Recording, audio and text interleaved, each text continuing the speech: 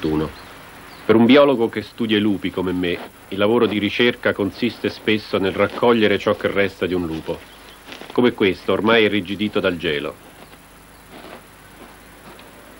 Ad aver paura del lupo cattivo sono ancora in molti, a giudicare dai più di 40 esemplari che ogni anno finiscono nel mirino delle doppiette illegali o sterminati da bocconi avvelenati.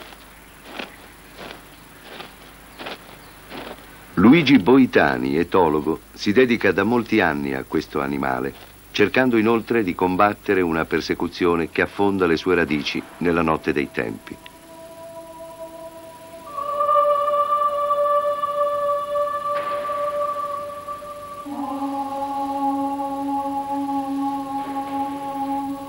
Se il lupo ti fissa negli occhi ti pietrifica, il lupo morde alla gola e succhia il sangue della vittima, il lupo provoca ferite che non si rimarginano.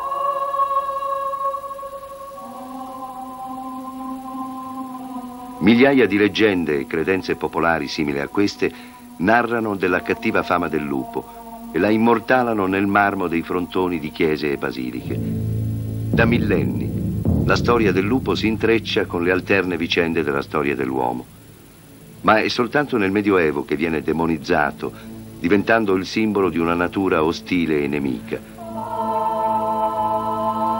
Venerato o semplicemente accettato nelle precedenti culture pagane, il predatore per eccellenza è ora bollato come eretico in una cultura dominata dalla Chiesa e imperniata sul misticismo e il soprannaturale.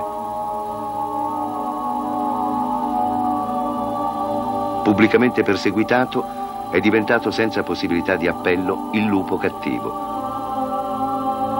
Fioriscono così le superstizioni che sopravvivono ancora oggi e nella lotta tra il bene e il male il lupo è decisamente il nemico da trafiggere.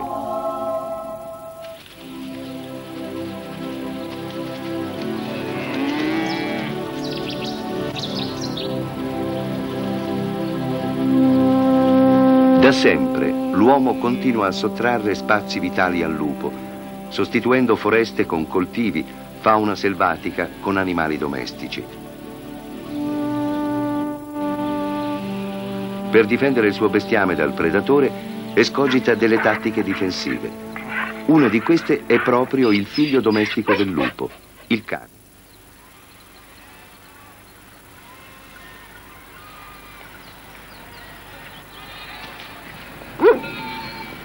Tra i suoi tanti mestieri, quello di cane da pastore è forse uno dei più antichi. La paziente opera della selezione artificiale ha fatto in modo che il mastino abruzzese sviluppasse una vera e propria dedizione per il gregge. Lo considera il punto di riferimento della sua vita sociale e passa tutto il suo tempo tra le pecore, alle quali sembra quasi assomigliare in certi tratti del suo aspetto esteriore.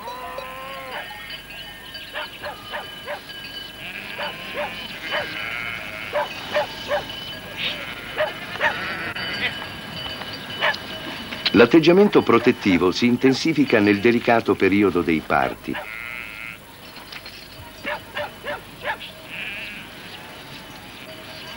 L'inibizione spinta fino all'estremo. Il tenero e indifeso agnellino sarebbe una tentazione irresistibile per qualunque carnivoro, ma non per lui, che vigila attento e premuroso su madre e neonato, ormai dimentico delle sue antiche origini di cacciatore. L'istinto predatorio non è stato completamente cancellato, ma sapientemente dirottato verso qualsiasi intruso che non sia il suo gregge e che possa recare disturbo alle sue protette. In questo attacco riemergono gli schemi classici della predazione lupina, che consiste in una serie di manovre coordinate di gruppo. Per il mastino abruzzese le pecore rappresentano di fatto un territorio mobile che non va mai abbandonato.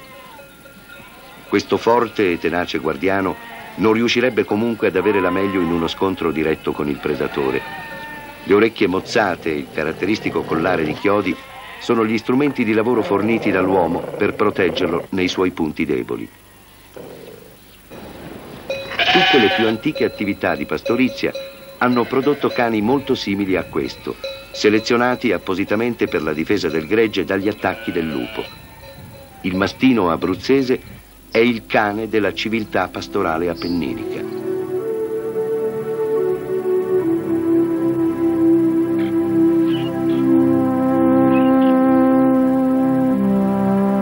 Per la sua tormentata geografia, un susseguirsi di rilievi montuosi e di vasti altopiani, l'Appennino non ha concesso troppo spazio all'espansione agricola, confinando i coltivi nei fondovalle e nelle pianure costiere.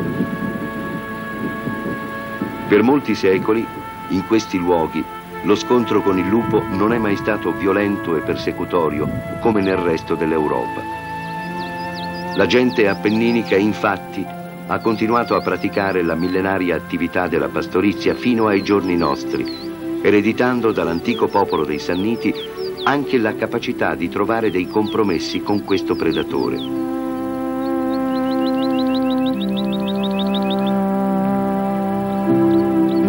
La presenza di vaste aree boscose per lungo tempo hanno assicurato al lupo rifugio e disponibilità di prede naturali anche di grossa taglia, come cervi, camosci e cinghiali.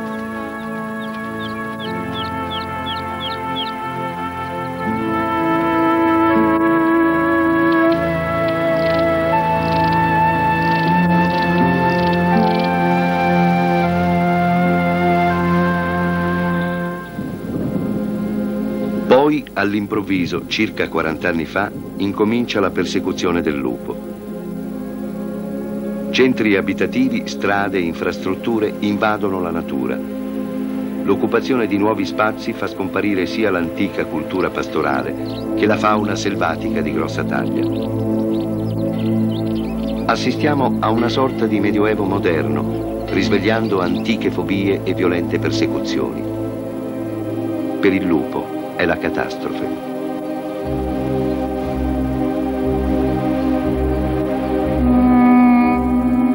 All'inizio degli anni 70 scatta l'emergenza. Il WWF avvia un progetto per la conservazione del lupo e ne affida l'incarico a Luigi Boitani. 3 settembre 1972. La prima cosa da fare è stabilire dove sono e quanti sono.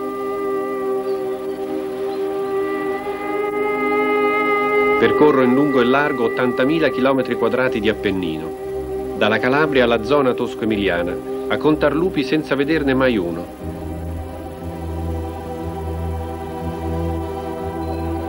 Raccolgo informazioni, visito pastori e ovili, cerco di dare un senso logico alla ridda di notizie contraddittorie. I mesi passano alla ricerca del grande assente, inseguendo i suoi ululati.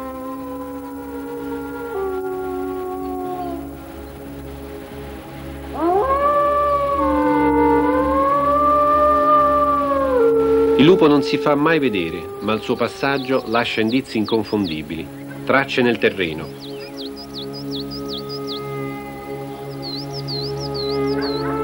Anche i suoi escrementi raccontano molte cose sulla sua vita. I sopralluoghi approdarono a un primo scoraggiante risultato. Non più di 100 lupi sopravvivevano in tutto l'Appennino centro-meridionale, disseminati qua e là in poche vulnerabili manciate di individui. Si era a un passo dall'estinzione. La fase successiva dell'indagine, il censimento diretto, viene spostata quindi nella zona risultata più ricca di lupi, compresa tra il Parco Nazionale d'Abruzzo, il gruppo del Sirente e il massiccio della Maiella. Un'area in cui accanto a spazi invasi dall'uomo coesistono ancora vaste e splendide zone di natura incontaminata.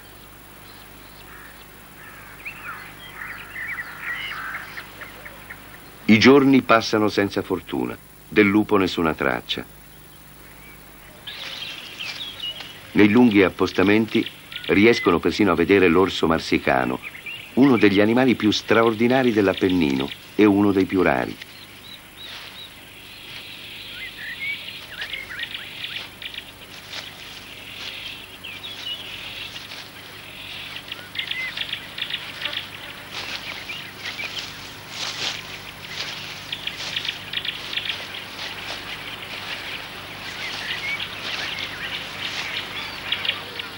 Mattina presto, in primavera, il grande assente fa la sua comparsa. L'odore della pecora morta vicino alla quale ci siamo appostati lo ha attirato nella zona.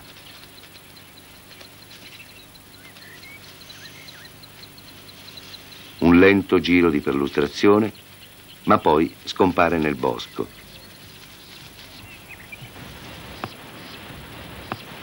Dopo lunghe ore di attesa, il lupo appare di nuovo. '"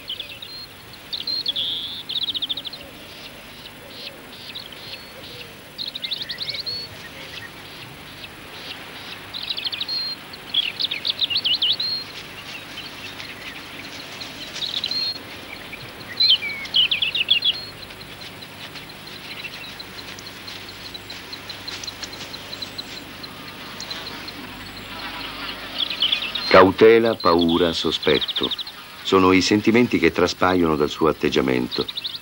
Il lupo è magro, stremato dal lungo inverno, combattuto tra la fame e la paura. Ma l'animale teme l'inganno. Potrebbe essere un boccone avvelenato, uno dei trucchi preferiti dell'uomo.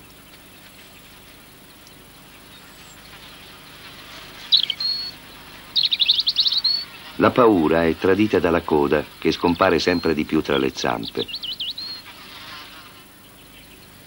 Il lupo annusa, assaggia e poi se ne va ancora una volta.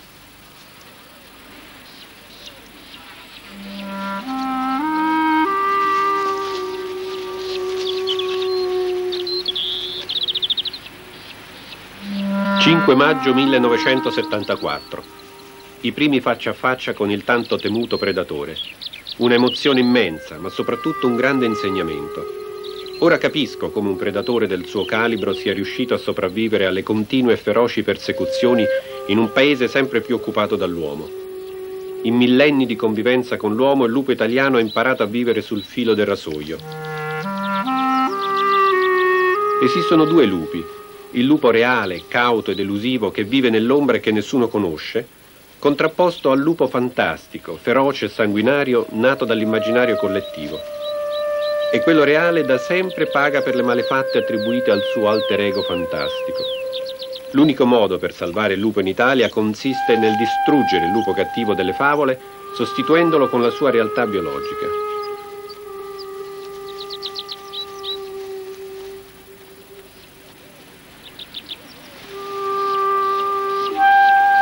Solo il secondo giorno ritorna il lupo. Marca il territorio circostante.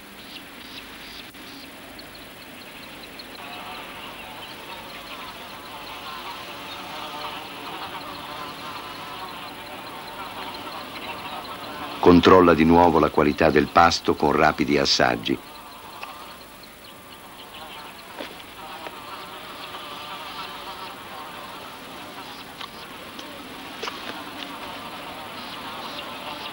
Nonostante la grande fame, è soltanto il secondo giorno che si decide a mangiare.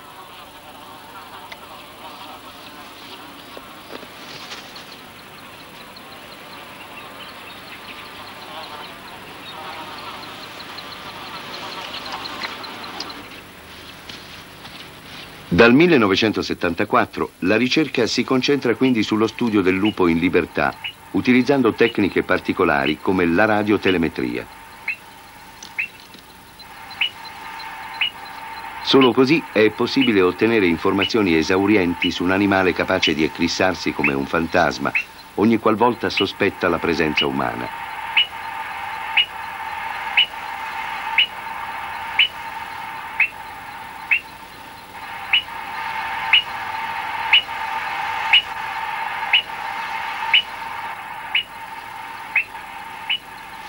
È un metodo che richiede un buon passo ed una grande esperienza nel valutare i segnali radio. Ma esso permette di spiare gli spostamenti quotidiani di un animale in grado di percorrere fino a 200 km in una sola notte.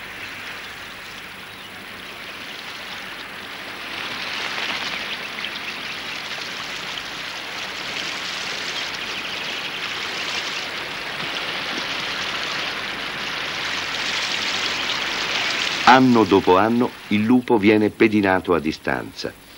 I dati si accumulano e molti miti crollano. come quello che vuole il predatore riunito in branchi numerosi. Spesso il lupo italiano trascorre gran parte della giornata da solo, più o meno lontano dagli altri membri della sua famiglia.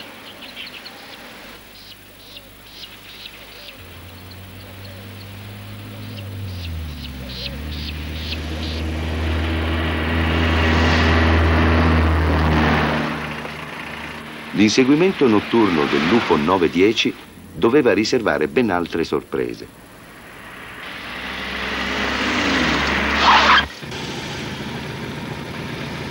A notte fonda, Lupo 910 decide addirittura di imboccare la strada asfaltata.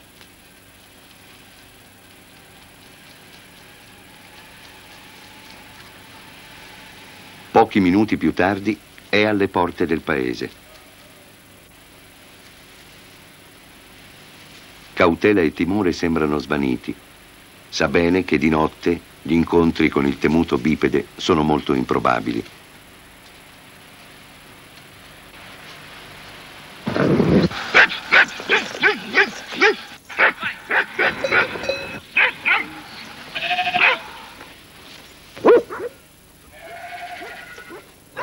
L'ovile viene ignorato in barba a tutte le previsioni e ai luoghi comuni.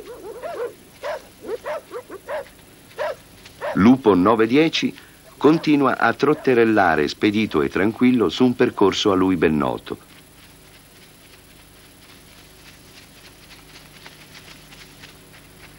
Con sorpresa si scopre che il lupo si aggira abitualmente nella vicinanza dei nostri paesi. Finalmente il bip bip del radiocollare segnala che la sua lunga passeggiata si è conclusa. Meta finale, la discarica dei rifiuti. 17 ottobre 1977. Le abitudini alimentari del lupo 910 ci lasciano letteralmente sterefatti. Scopriamo che per ben il 70% il lupo italiano si nutre di rifiuti, proprio quelli prodotti dal suo peggior nemico,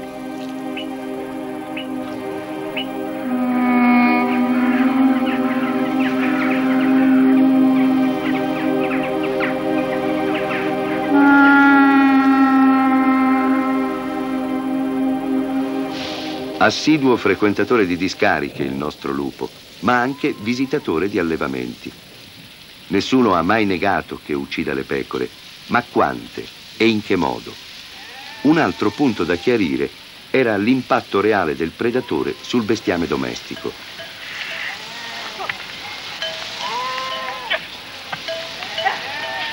I lupi portano i ricercatori nei luoghi che coincidono con gli antichi sentieri della transumanza Oggi gli imponenti spostamenti stagionali di pecore, uomini, cani da pastore non esistono più, sostituiti da più rapidi trasporti con camion. Tuttavia le medesime aree sono adibite a pascolo ed il lupo vi fa la sua comparsa.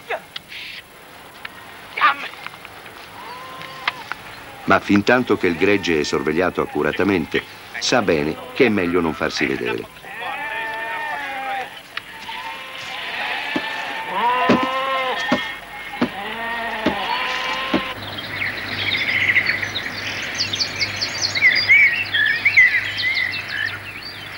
In molte zone la presenza del lupo è stata dimenticata.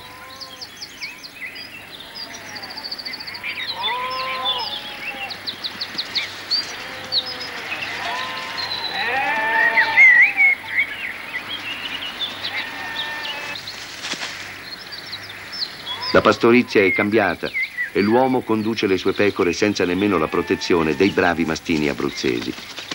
In queste condizioni tutto diventa più facile.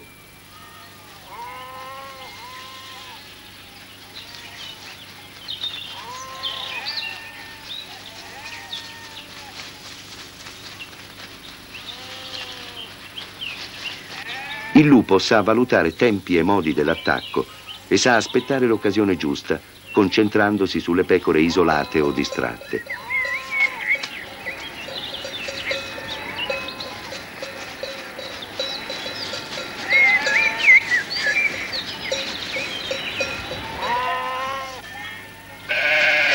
L'uccisione è fulminea e di una precisione chirurgica.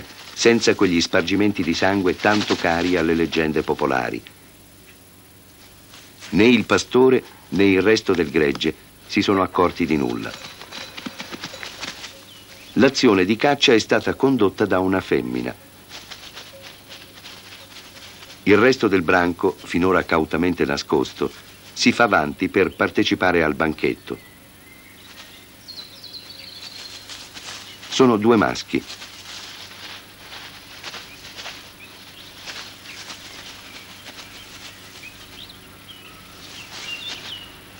Generalmente i lupi italiani sono organizzati in gruppi di piccole dimensioni, in media da 2 a 5 individui.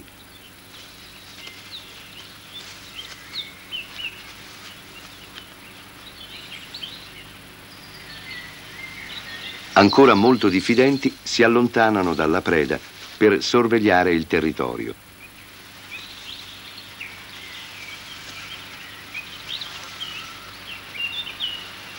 La gerarchia che regola i rapporti sociali non è rigida, al contrario viene messa continuamente in discussione, in questo caso dal giovane maschio che tenta la scalata sociale. È lui che comincia a mangiare per primo, pur essendo di rango inferiore. L'autrice dell'attacco vorrebbe godersi il frutto della sua caccia. In questo momento di tensione ha bisogno di essere spalleggiata dal suo compagno, il capo branco, e si volta ripetutamente verso di lui, chiamandolo in rinforzo. Per convincerlo ricorre ad atteggiamenti da cucciolo.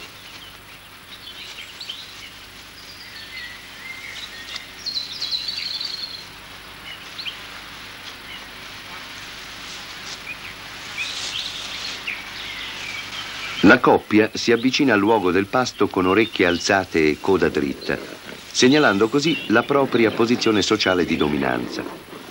In questo modo ottengono l'accesso al pasto e la femmina può finalmente cominciare a mangiare.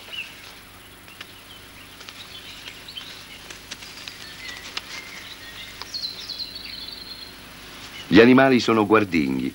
Il pastore potrebbe tornare e occorre tenere la zona sotto controllo. La prudenza non è mai troppa. Meglio trascinare il pasto al riparo da occhi indiscreti.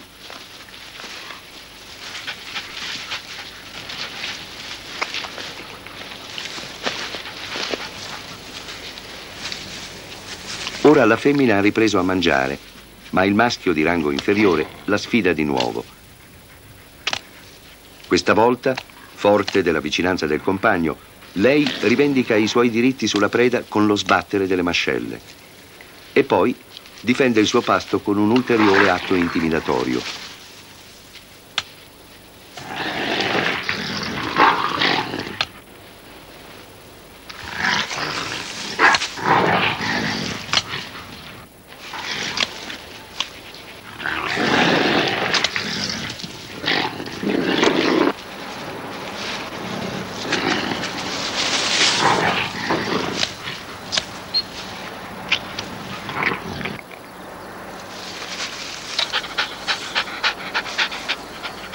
Ma solo all'arrivo del maschio dominante, l'inferiore si butta a pancia all'aria in segno della sua sottomissione e il capo branco subito accetta le sue scuse con un rassicurante scodinzolio.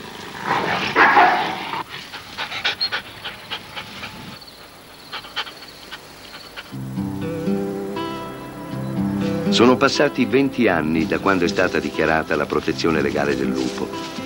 Da allora ad oggi il numero dei lupi è andato lentamente crescendo. Oggi sono quasi 300, anche se il bracconaggio continua a fare molte vittime.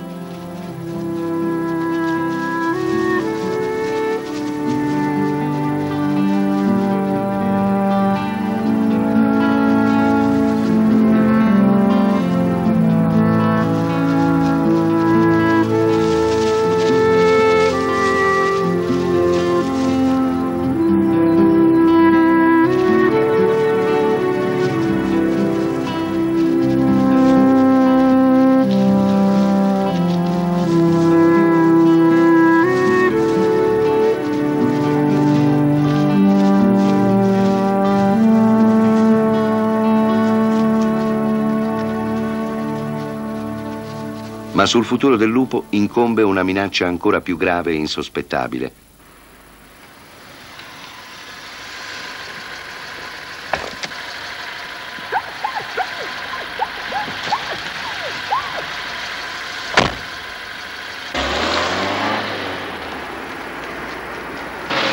Il nemico del lupo è il cane, il miglior amico dell'uomo. Ennesimo prodotto usa e getta del consumismo, il figlio del lupo torna, suo malgrado, in libertà. Addomesticando il lupo, l'uomo ha creato centinaia di razze canine da sfruttare nei ruoli più diversi secondo i suoi bisogni. Ma queste, una volta abbandonate, non sanno più come comportarsi.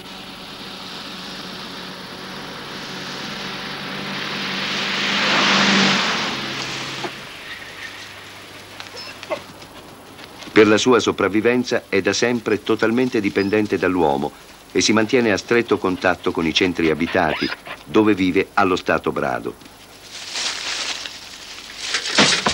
Da cane abbandonato diventa un randagio.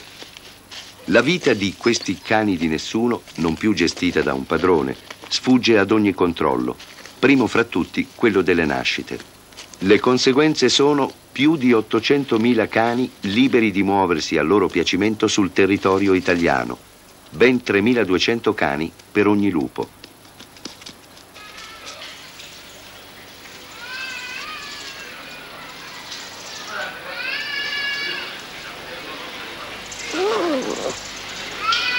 Tirar su una nidiata di sette cuccioli è un'impresa disperata per un randagio che a malapena riesce a sfamare se stesso.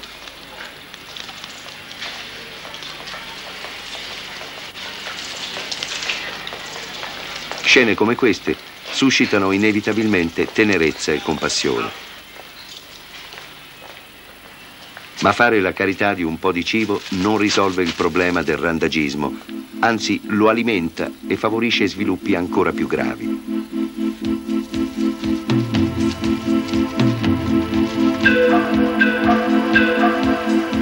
Da sempre l'uomo tende ad attribuire agli animali da compagnia un valore unicamente affettivo, dimenticandosi del ruolo ecologico che riacquistano una volta tornati in libertà. È quello che succede quando i randagi rompono ogni legame con l'uomo, si riuniscono in branchi e si inseriscono nell'ambiente naturale. Sono i cani inselvatichiti, una componente ecologica nuova ed imprevista.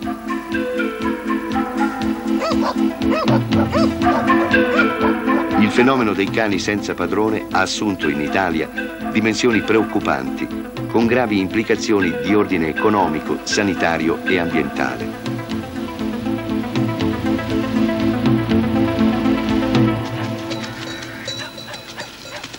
La storia di Manchi è emblematica.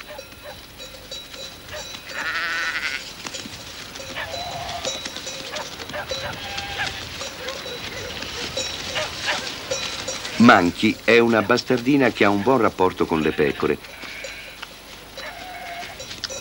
Ma tra lei e il pastore non c'è un legame affettivo. E talvolta la cagna abbandona il suo lavoro e se ne va a spasso per gli altopiani del Sirente.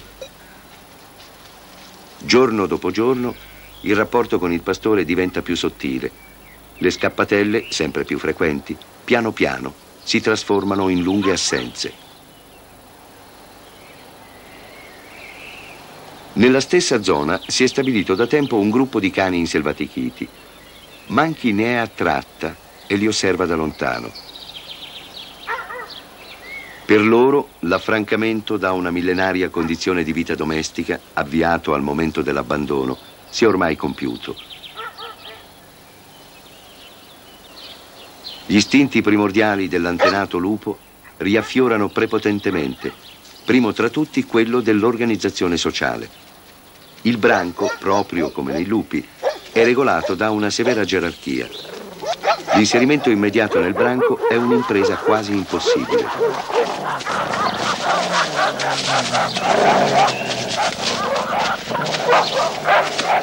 Manchi, tuttavia, non si scoraggia.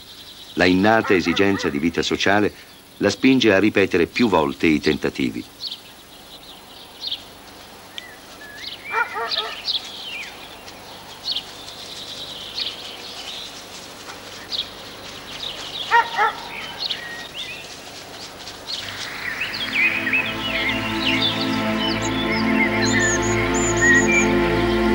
L'autunno è tornato sul massiccio del Sirente e Manchi ormai fa parte del branco.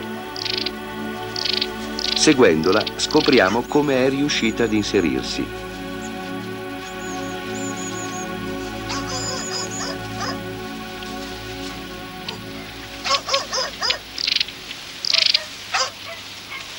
Deve aver fatto colpo su un inselvatichito. Eccone il risultato. Una numerosa nidiata che Manchi, come i lupi, alleva in una tana nei boschi.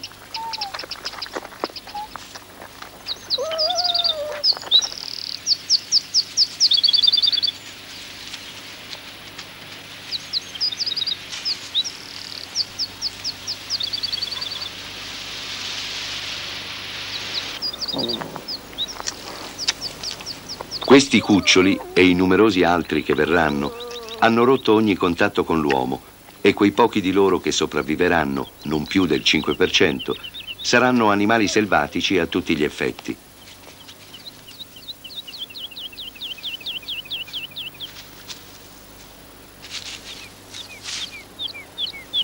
Storie come quella di Manchi si ripetono a migliaia.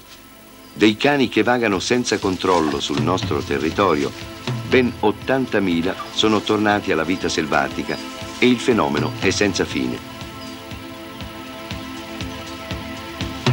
L'esercito di randagi, che può contare sempre su nuove reclute, è di fatto una fabbrica che produce inselvatichiti a ciclo continuo.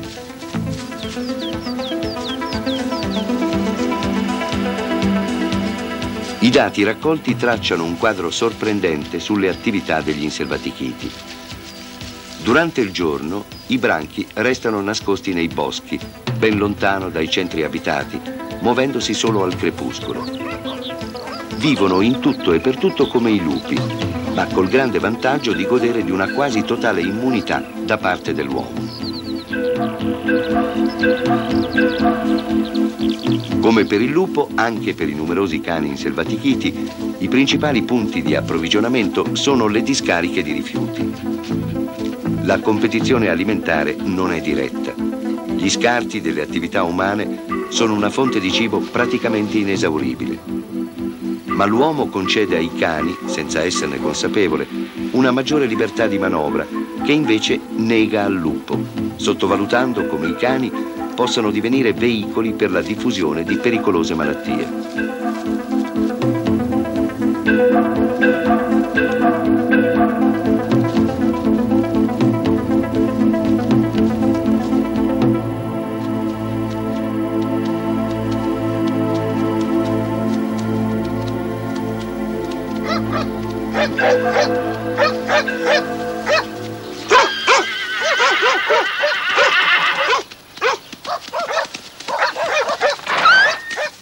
Al cane non basta riacquistare la libertà per ritornare ad essere un efficiente predatore.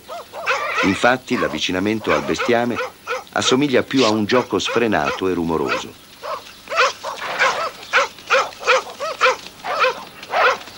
L'azione plasmante della domesticazione lascia tracce profonde nel comportamento. Il cane è di fatto un eterno bambino che non sa misurare le sue forze e sviluppare le tecniche di caccia in gruppo.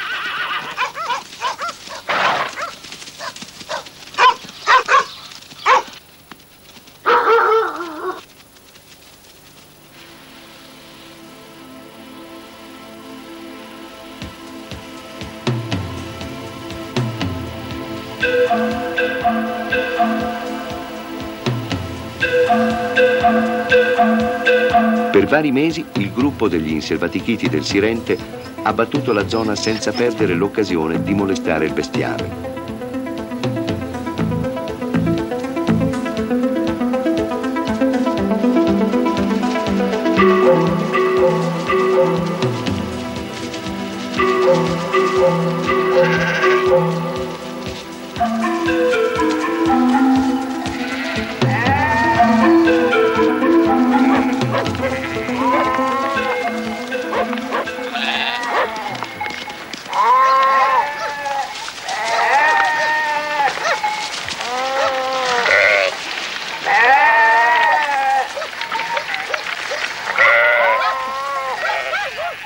All'attacco dei cani le pecore reagiscono con uno sbandamento disordinato che scatena ancora di più l'istinto predatorio e il gioco può prendere la mano.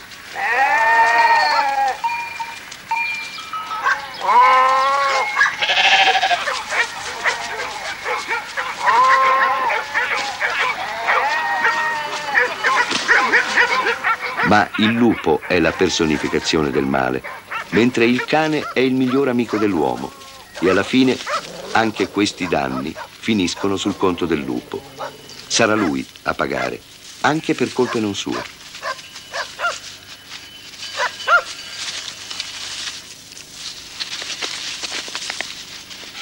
«3 settembre 1985. I randagi sono la classica goccia che fa traboccare il vaso non solo creano al lupo difficoltà per gli spazi e per il cibo, ma mettono addirittura a repentaglio la sua stessa identità genetica. Per una lupa isolata e in calore, l'incontro con uno dei tanti cani selvatici può trasformarsi facilmente in una possibilità di accoppiamento. Accetta così come compagno un animale che in altre condizioni verrebbe considerato un nemico.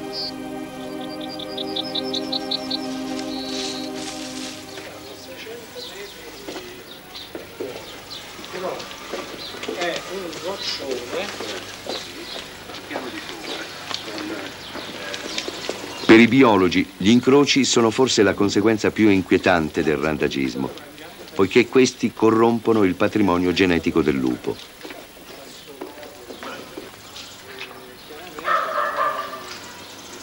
Un grande problema in discussione è come distinguere tra un lupo e uno di questi ibridi. È molto difficile, perfino per un occhio esperto. Coda e orecchie un po' più lunghe, o strane combinazioni di colore sono particolari sospetti e insoliti che sembrano tradire un'impronta canina.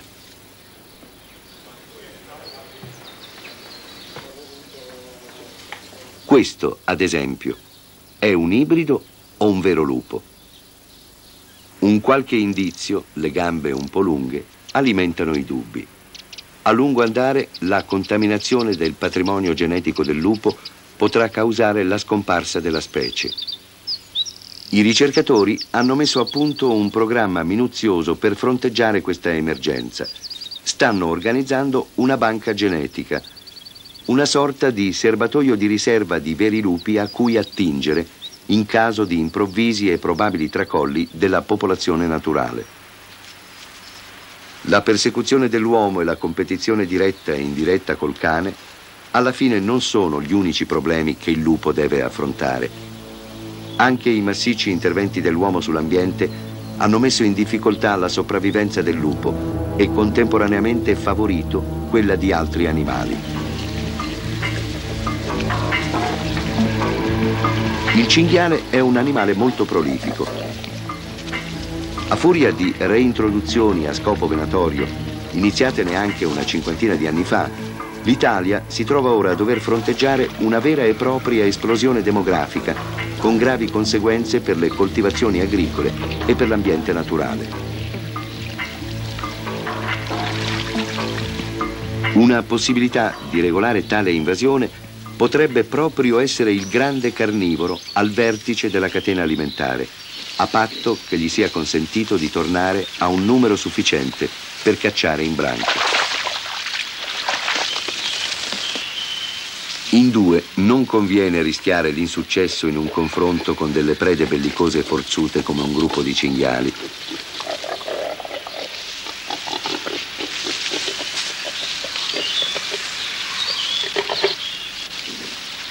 Quando sono con i piccoli, i cinghiali diventano più vulnerabili.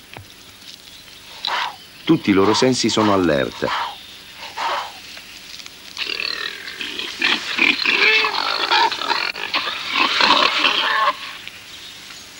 riconoscono il vecchio nemico e prontamente ubbidiscono all'istinto di scappare.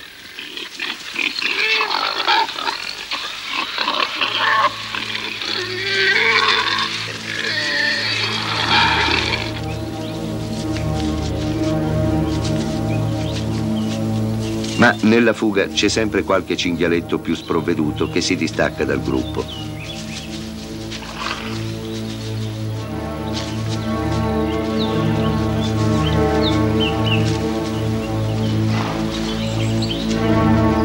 Caccia è talmente facile da trasformarsi quasi in un gioco.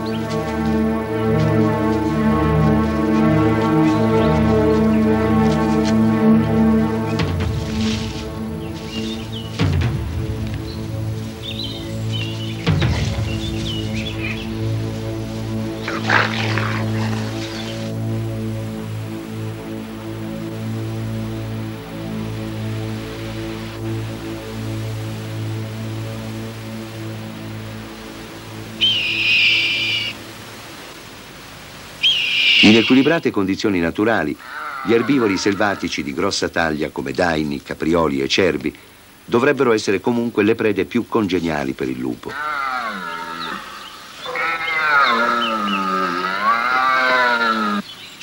In una grande parte dell'Italia i cervi sono stati sterminati da attività venatorie ed è solo grazie a recenti interventi di reintroduzione che stanno tornando a popolare alcune zone d'Italia. Il successo di tali iniziative è il risultato della fruttuosa cooperazione tra ricerca scientifica, parchi faunistici e aziende forestali di Stato. Lo scopo, qui come in altre zone dell'Abruzzo e dell'Appennino toscano, è quello di ricostruire un ambiente il più possibile integro.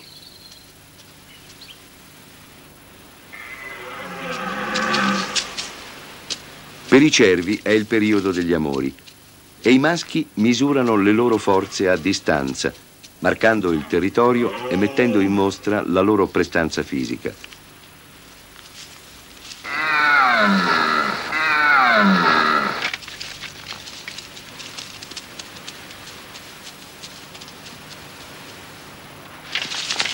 I duelli autunnali dei cervi per il possesso delle femmine sono in pieno svolgimento. I combattimenti frontali sono ritualizzati una sorta di braccio di ferro utile a stabilire chi è il più forte senza per questo rischiare la vita.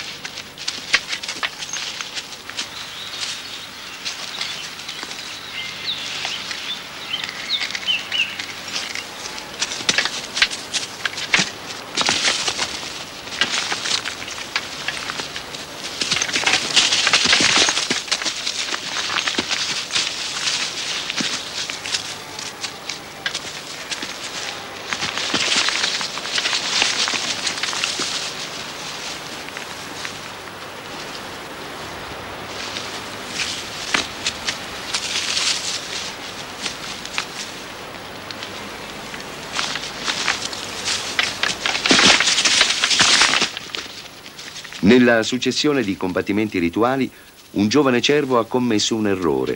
Si è ritrovato in una posizione sbagliata e il rivale lo ha colpito a morte. La conclusione cruenta di combattimenti è un fatto raro, mai filmato prima d'ora in natura.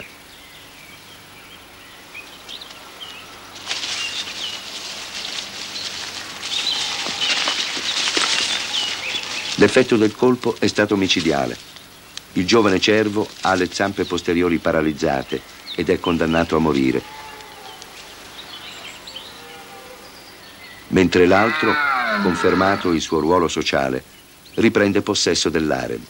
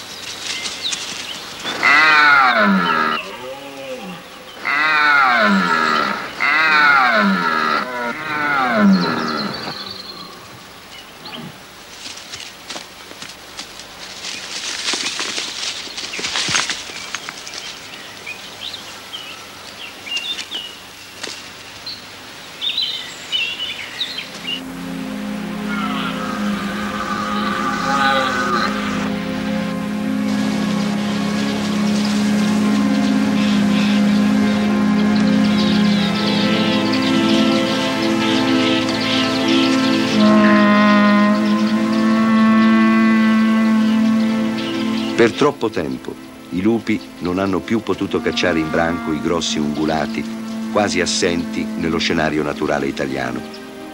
Ed ora osservano sospettosi il cervo agonizzante.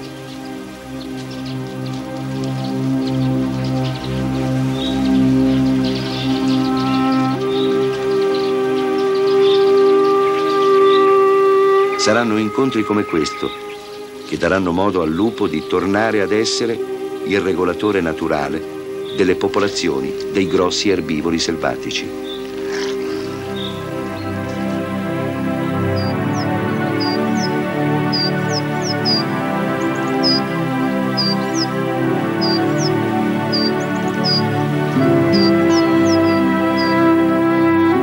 «18 marzo 1991 da quasi vent'anni ormai siamo sulle tracce del lupo.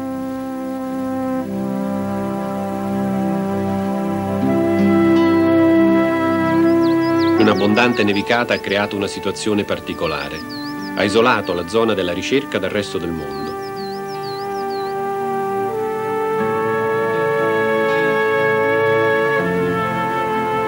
Vediamo in pieno giorno due lupi che scorrazzano tranquilli in luoghi dove solitamente si avventurano solo di notte.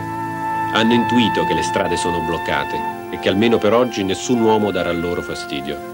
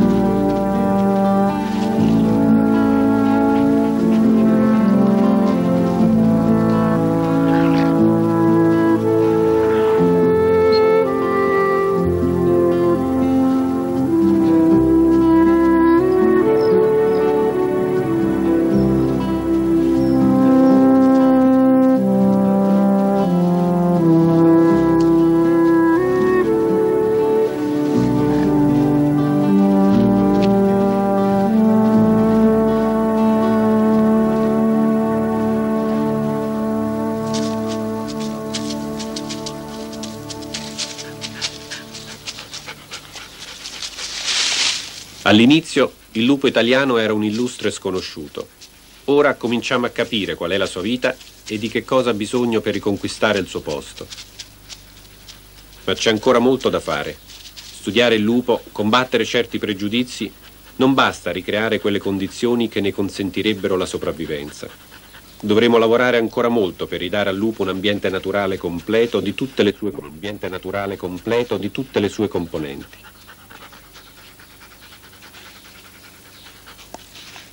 E intanto la strage continua.